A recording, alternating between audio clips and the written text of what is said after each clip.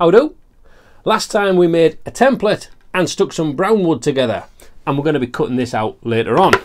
But first we're going to mess about with some maple. So we now have back of guitar, front of guitar, guitar shape. Now what we also need is a maple strip to make a bit of a sandwich for the body as well, just to thicken it out a little bit more, allow the volume to resonate inside. So basically we're going to use these maple sticks to create a frame that goes all the way around the edge. Now how I'm going to do that is cut it into sections and then glue them side by side and then we can cut them out to the right shape externally and internally.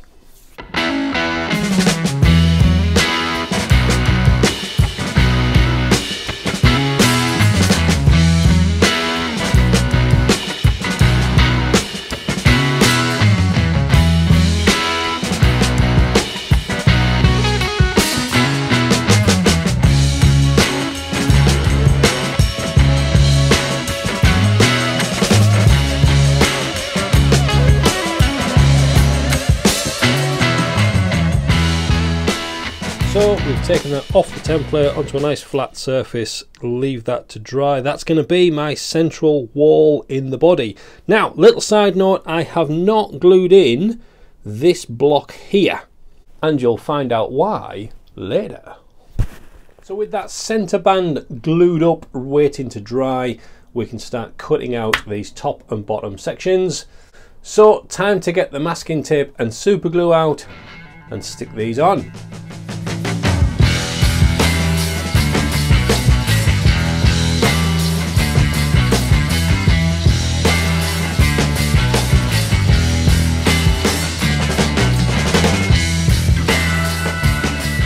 First go around with the template, we've now got two options to finish off the rest of this thickness. One of them is to change the bit on the router so that we have the bearing at the bottom and then flip this upside down to copy that. The other option, and the one I'm going to go for, is to put a block underneath with masking tape and superglue so I can stick this in the vise so it looks just like that. That way when we go around and trace this area with the bearing on the router the bottom of the bit can poke out and it doesn't just rip all hell on your workshop.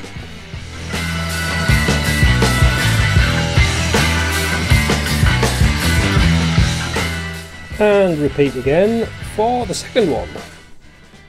For the middle section I've stuck it down to a sacrificial piece of plywood uh, which is just going to keep everything a little bit more stable not only as we cut out the outside shape but also as we then go back in to cut the internal shape out as well. So this is going to end up being a wall of maybe about 3 mil thick, something like that.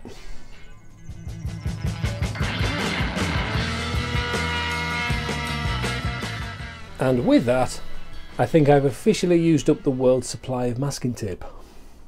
So there we go, that probably looks a bit epically thick at the moment. Now we've got the sacrificial plywood still attached to the maple, uh, but that thickness gives me a little bit of playroom for sanding down in the centre. Uh, and don't forget, around the edge, it's actually only going to be up to there because of all that curve that we're going to put into it. But look at what we've got in the maple there. That kind of light and dark flow through there. And it does the same on that side as well. Well, I think we've looked out with that. And now it's time to actually start shaping the body. This is the fun bit. But we're not going to start with the top. That's going to be next week's video because that's going to include how to do the neck break angle and building the bridge at the same time. So that's next week's fun. This week's fun is going to be sorting out this back panel. Now one of the big things is making sure that you actually carve the correct side because if I do that side I'm kind of hammered. So that's the side we're working to. We want to get all those beautiful shapes and curves just like we have on the full-size archtop guitar. Let's grab a pencil and some chisels and some files and some sanding and some fun and stuff. the first thing I'm going to do is just score a line, ooh, about that thick, all the way around it. That's going to be the edge that you're going to see every other part of the back of this guitar, ukulele, is going to be curved. Oh, don't you love it when it meets up at the end like that? Woohoo!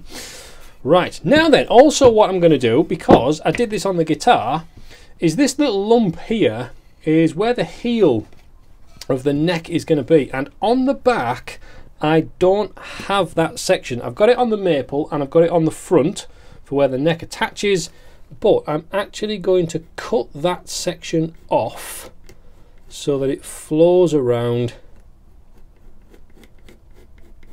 something like that. Right, let's cut that bit off first, then we can start shaping this. There we go, a little bit of bandsaw action that you don't need to bother seeing, and so we've got that line. Right, so how are we going to create the big bows and curves and things like that?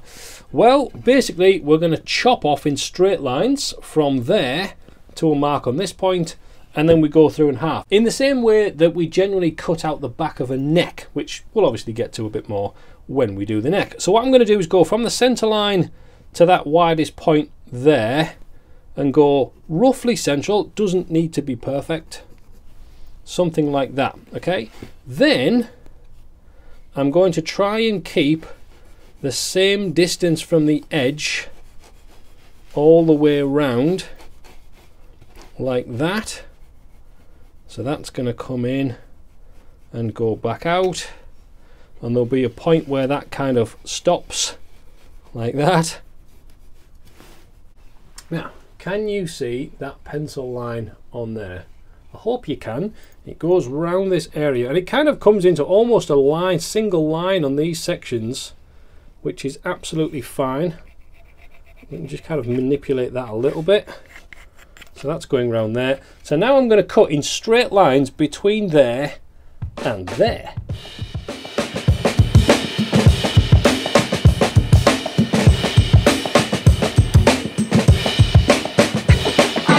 So there we go, all those lines cut out and we've just gone from the line we scored down there down to the line we scored down that bit.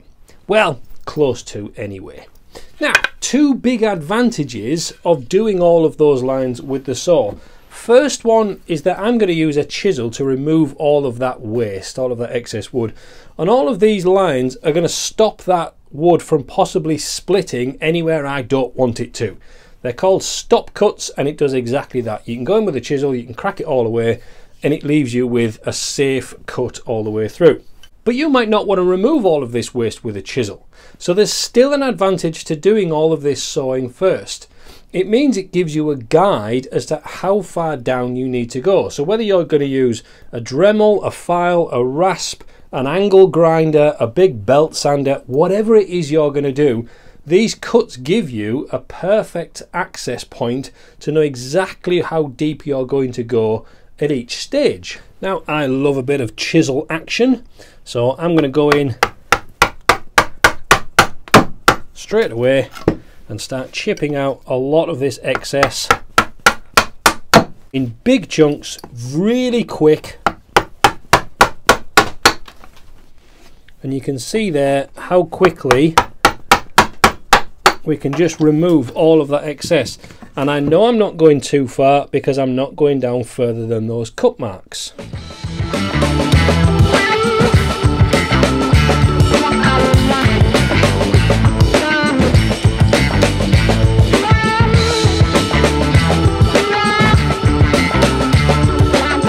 There we go, that's all that excess removed and that took no more than 10 minutes um, yes, that takes a little bit of cleaning up, but nothing like the amount of time and dust and all the rest of the rubbish that would happen if you go at it with something like an angle grinder or a sander of some sort. Uh, now I'm just going to go around with the rasp just to smooth off those rough edges. Then we'll recut the second bevel that can then start creating curves. So we can see there we're pretty much down to each line so we know it's consistent all the way through. Uh, so now I'm going to do the same thing again halfway through this new cut and then the same distance away from there. So then I'm going to saw from this point to this point all the way around again and it will start to create an arc that goes through.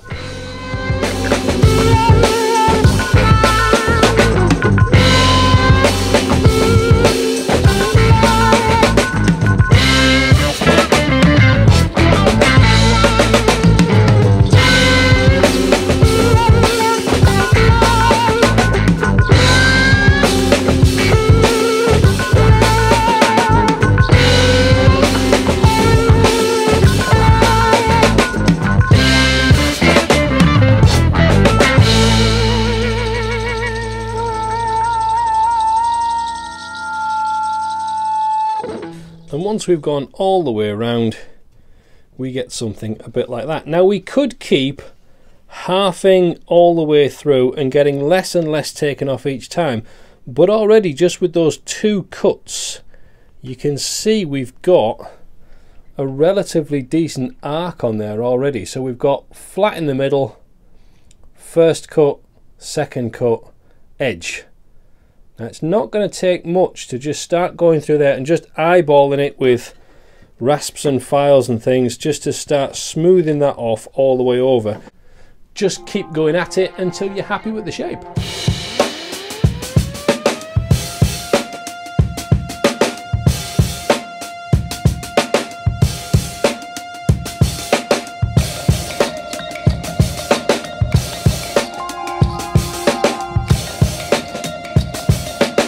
Just using the rough side and smooth side of a Shinto saw rasp, um, very, very quickly got that down to feeling really nice. And actually feel is almost a bigger guide than what it looks like.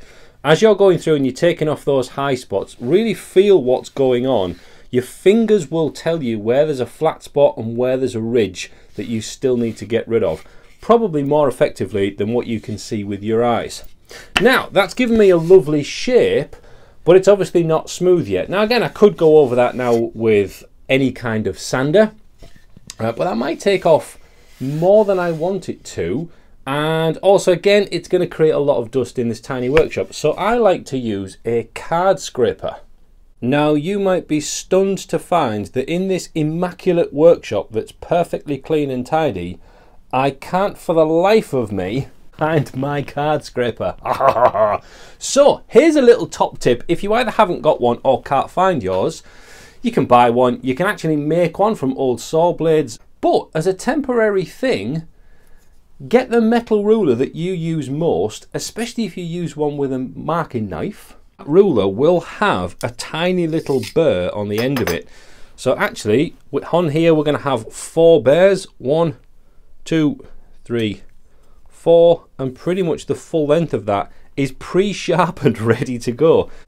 So what you need to do is then just start going through and it will actually work quite nicely as a card scraper just on its own right.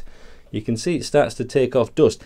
No it's not as good as a proper scraper but in a pinch it'll actually work